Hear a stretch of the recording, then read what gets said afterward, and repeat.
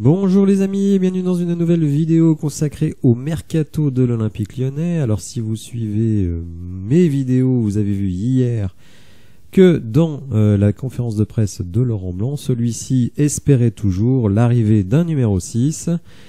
Et donc hier, des bruits ont commencé à sortir sur différents noms, noms NOM, S, et euh, Foot Mercato euh, a dit que la piste Pathé 6 était réactivée. Vous savez, cette piste qui était tombée à l'eau dans les dernières minutes du mercato de janvier. Euh, joueur qui évolue donc au Rayo Vallecano et qui était vraiment dépité que ses dirigeants aient d'abord dit oui, puis non, 30 minutes avant la fin de la deadline. mais en réalité, Mathieu Louis-Jean, hein, donc le directeur de la cellule de recrutement de l'OL, est effectivement en Espagne, mais alors pas du tout sur la piste Pathé 6, puisqu'il est actuellement à Séville euh, pour rencontrer tout simplement deux joueurs du Betis Séville. Alors un que l'on connaît très bien, hein, puisque c'était déjà une piste en 2021 à l'ère Peter Boss, donc William Carvalho, international portugais, et l'autre, euh, c'est euh, Guido Rodriguez, qui est un Argentin. On va regarder dans quelques instants euh, le profil de ces deux joueurs, donc qui sont a priori des numéros 6. alors pour Cavallo, vous allez le voir, Hugo Guimet dit que bon, ben, ça va être très très compliqué. pour Rodriguez, c'est compliqué aussi, mais un petit peu moins compliqué. Alors que nous dit euh, notre ami Hugo Guimet. Pour William Carvalho, euh, il est la priorité de Laurent Blanc et c'est donc lui que Mathieu Louis-Jean essaye de convaincre en premier, mais l'international portugais sous contrat jusqu'en 2026, hein, donc encore trois ans, ne sortira qu'en prêt et son salaire risque d'être un obstacle insurmontable pour les finances de l'OL surveillées par la DNCG. Hein. Donc voyez là, euh, on va plutôt sur un prêt, mais le problème c'est le salaire. Vous savez que notre masse salariale est encadrée et donc euh, on ne peut pas prendre n'importe qui en salaire. Alors donc je suis allé voir quel salaire touche notre ami William Carvalho et nous voyez nous, nous sommes à 2 millions 3. Alors euh, à l'heure actuelle il semble qu'on ne puisse pas faire 2 millions 3 mais si on arrive au final, puisque ce n'est toujours pas fait à vendre, Carl Toko et Cambi, et éventuellement Tino Kadewere que l'on annonce du côté de Strasbourg si Habib Diallo s'en va, puisque Habib Diallo euh, est euh, prévu euh, peut-être pour partir notamment en Arabie Saoudite, me semble-t-il, eh bien, ça libérerait suffisamment pour signer William Carvalho. Le problème, c'est que si vous signez William Carvalho, eh bien, euh, vous ne pouvez pas signer de joueur offensif puisque vous auriez utilisé l'intégralité de la masse salariale. Euh, donc, euh, c'est un dossier extrêmement compliqué. Guido Rodriguez, donc lui, on va dire, c'est l'option B. Hein, L'avantage, c'est qu'il entre dans sa dernière année de contrat et ne devrait pas prolonger, ce qui offre une fenêtre de tir à l'OL pour un montant probablement inférieur à 10 millions. Mais là encore, les, les, les dirigeants lyonnais jouent très serré car les deux dossiers s'annoncent très complexes à mener à terme. Bon, euh, vous voyez quand même hein, un, dossier à moins de 10 millions, euh, on n'arrive pas à le faire, hein, c'est vraiment un gros souci. Alors, puisqu'on a vu le salaire de notre ami Carvalho, regardons celui de Rodriguez. Donc vous le voyez, Rodriguez, lui, est à 1,7 million et oui, euh, on est à 600 000 euros d'écart. Euh, ça n'a l'air de rien, mais c'est important. Ce qu'il faut savoir, c'est que Camilo, donc qui est parti euh, en Russie à Grozny, eh bien lui touchait euh, bah, justement la différence, c'est-à-dire à peu près 600 000 euros. donc on est obligé de faire ces petits comptes d'apothicaire, c'est bien dommage, mais c'est ainsi. On va regarder tout de suite les statistiques de la saison passée de ces deux joueurs pour voir celui qui a priori est le plus intéressant.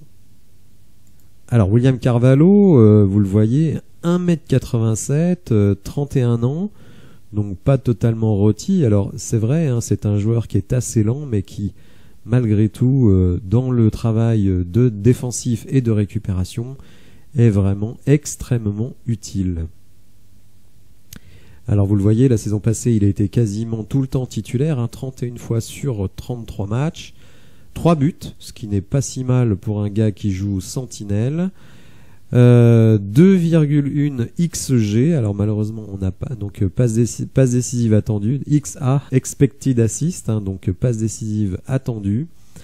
Euh, vous le voyez en termes de qualité de passe, eh ben 87%, 92 dans son camp, 83 dans le camp adverse, et quand même 71% sur les passes longues, donc ça c'est vraiment très très bien. Et dans les duels, eh bien largement au-dessus de 50%, que ce soit dans les duels au sol et dans les duels aériens. Donc à l'évidence, euh, quelqu'un qui correspond mais totalement à ce qu'on recherche, hein, ça c'est clair. Vous l'avez compris, hein, ce qui bloque c'est le salaire, mais ce joueur est vraiment la priorité de Laurent Blanc. Euh, il est certain que l'encadrement de la masse salariale nous permet pas d'aller tranquillement sur ce profil. On va regarder donc Rodriguez à côté pour voir si c'est beaucoup moins bien. Alors Guido Rodriguez, 1m85, hein, donc vous voyez euh, à peu près dans le même registre sur le plan physique, mais vous voyez quand même une valeur de 29 millions d'euros. Hein. Donc euh, bon, ce qu'il y a, c'est qu'il lui reste plus qu'une seule année de contrat, donc évidemment il vaut beaucoup moins. Mais quand même, c'est un joueur qui est très coté. Hein. Je vais pas vous mentir, je ne le connais pas.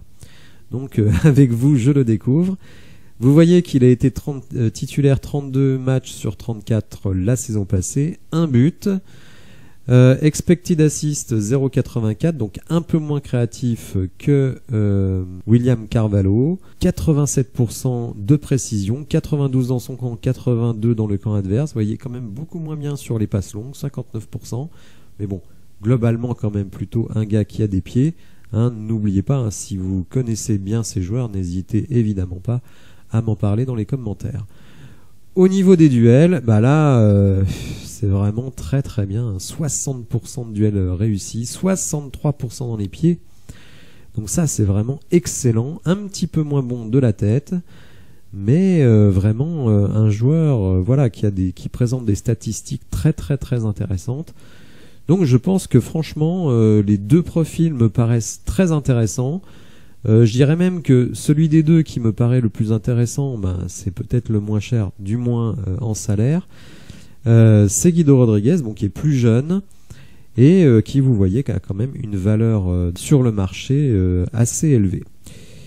Voilà, on va voir bah, ce qui va se passer. Est-ce qu'on va être capable de faire ces joueurs-là? Est-ce que, par exemple, on pourrait prêter le penant? Tout simplement pour euh, libérer 700 euh, 000 euros de masse salariale. Hein, c'est quand même pas rien, 700 000 euros. Vous avez vu, hein, on est vraiment euh, sur des sur des bouts de ficelle. Hein, donc 700 000 euros, on va pas cracher dessus. Et je pense évidemment que si on recrute un de ces deux joueurs, je ne vois absolument pas de temps de jeu pour Johan Le Penant.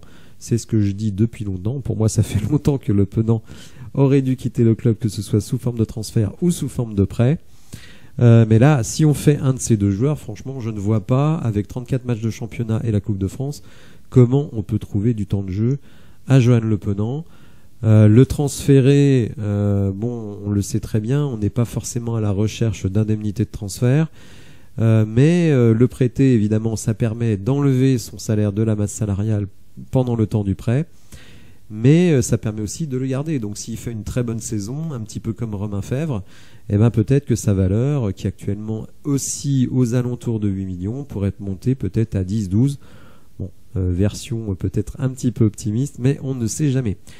Voilà, donc n'hésitez pas à me dire dans les commentaires ce que vous pensez de ces deux joueurs, si vous les connaissez, si vous trouvez bah, que ce serait des progrès, ou alors si on perd son temps, comme certains le disent, à chercher un numéro 6 alors que nous avons absolument besoin de rotation euh, sur le plan offensif, que ce soit dans l'aile ou euh, en numéro 9. Si vous avez apprécié la vidéo, n'hésitez pas à la liker, à vous abonner à la chaîne et je vous dis à bientôt pour de nouvelles infos. Merci, au revoir.